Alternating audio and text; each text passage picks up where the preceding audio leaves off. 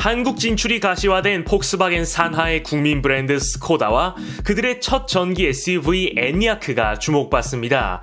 유럽에서 인정받은 뛰어난 상품성과 아이오닉보다 저렴한 가격에 소비자의 관심이 쏠리는데요. 이 에니아크에 대해 빠르게 알아보겠습니다.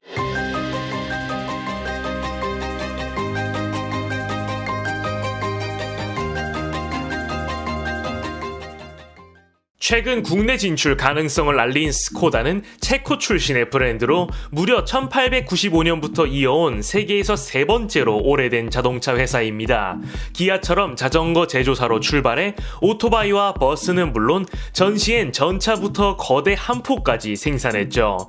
지금은 폭스바겐 그룹에 포함돼 폭스바겐과 구동계 부품 및 플랫폼까지 공유하는 형제 브랜드가 됐습니다. 기본기에 집중한 국민 브랜드로 인기몰이 중 중인 이 스코다의 장점은 바로 가격으로 다름 아닌 현대차와 경쟁 구도를 형성하고 있습니다. 스코다의 국내 진출이 주목받는 이유가 바로 이것이죠. 스코다의 독특한 엠블럼은 아메리카 원주민의 인장에서 시작된 형태로 지금은 화살에 날개가 달린 형태까지 진화했습니다. 스코다는 이 형태를 두고 진보의 날개를 단 정교함의 화살이라 소개하죠.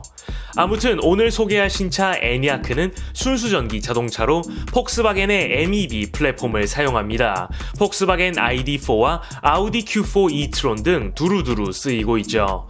폭이 긴 그릴은 130개의 LED가 투입된 crystal face 디자인을 가졌으며 기하학적인 매트릭스 LED 헤드램프도 인상적입니다. 독특하게 각진 이 형태는 체코의 유리 가공 장인 정신에서 영감받았다고 하네요. 스코다의 각진 디자인이 뭔가 유리 작품 같기도 하죠. 차체 길이는 4650mm, 휠 베이스는 2765mm로 투싼보다 전반적으로 조금 크지만 전고는 오히려 5cm 낮아 SUV와 벤의 중간쯤 디자인을 보여줍니다. 또 다른 특징이라면 앞으로 전진된 A필러로 후드를 길게 뽑는 것보단 실내 공간감에 집중하는 cab forward 스타일을 채택했습니다. 아반떼 MD부터 벤츠 EQS 등에도 쓰인 방식인데 엔야크 쪽의 완성도가 독보적이네요. 뒤로 갈수록 눈에 띄게 내려가는 roof line도 눈에 띄며 fastback 형태의 쿠페 모델도 있습니다. 측면에 깊게 패인 캐릭터 라인은 폭스바겐 그룹의 강판 가공 기술이 가감없이 드러나며 21인치 휠도 멋진 비율을 만들어줍니다. 엔야크의 뒤통수는 무리 없이 깔끔한 느낌이며 V자를 눕힌 듯한 램프도 나쁘지 않네요.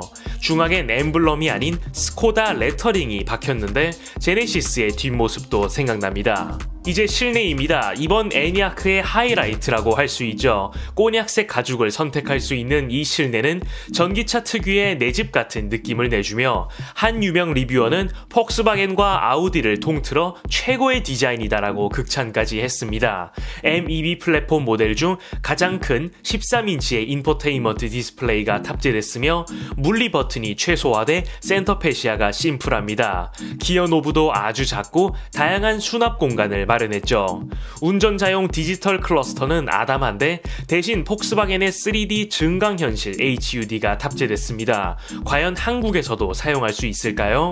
3인용 뒷좌석 공간도 역시 넉넉하며 전기차만의 평평한 바닥도 보입니다.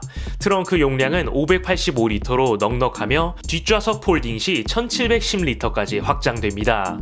에냐크는 제원도 괜찮습니다. LG가 만든 82kWh급 배터리가 탑재됩니다. 되며 dual 모터 버전은 최대 302마력을 발휘할 수 있고 유럽 기준 최대 510km 주행이 가능합니다. 한국 기준으론 400km대는 기대할 수 있으며 125kW 급속 충전 시 40분 이내에 10%에서 80%까지 충전할 수 있습니다.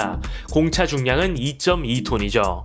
가장 중요한 차량가는 독일 기준 대략 4,500만원부터 시작하는데 아이오닉 5가 5천만원 중반에서 시작하는 동네이니 무려 무려 천만원 가까이 저렴한 시작가입니다. 현대와 비빌 생각으로 한국에 들어오는 스코다 입장에서 아이오닉 5와 경쟁이 가능하겠죠? 당연히 보조금 범위 내에도 들어오겠고요. 자, 여러분, 신형 엔야크 어떻게 생각하나요? 경쟁력이 있을까요? 지금까지 스코다 엔야크를 알아보았습니다. 구독과 좋아요 그리고 알림 설정을 통해 풍부하고 흥미로운 자동차 이야기를 매주 만나보시고 각종 spy shot 제보와 내차 판매, 차량 정보 커뮤니티는 네이버 남차 카페에서 함께 하실 수 있습니다. 페이스북과 인스타그램에서도 남자들의 자동차를 팔로우하시고 최신 정보를 빠르게 받아보세요. 감사합니다.